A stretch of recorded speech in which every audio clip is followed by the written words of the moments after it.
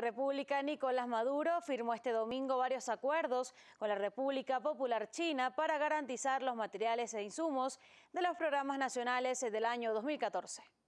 Queremos hacer una alianza de trabajo y yo le pedí a los ministros que personalmente hoy domingo quería estar presente en la firma de estos convenios.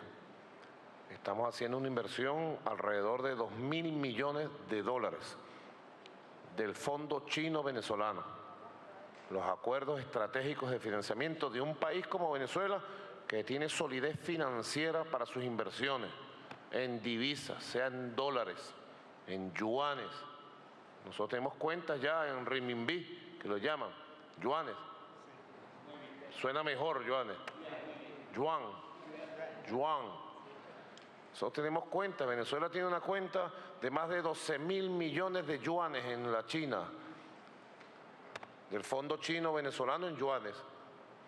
Y tenemos también una alianza estratégica financiera, bueno, del máximo nivel con China y con otros países hermanos del mundo. Estamos invirtiendo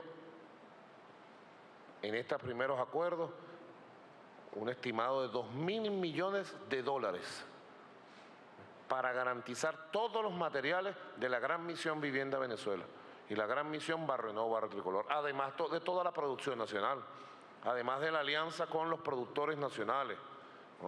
Esto es una ventana nueva que le abrimos para incrementar la capacidad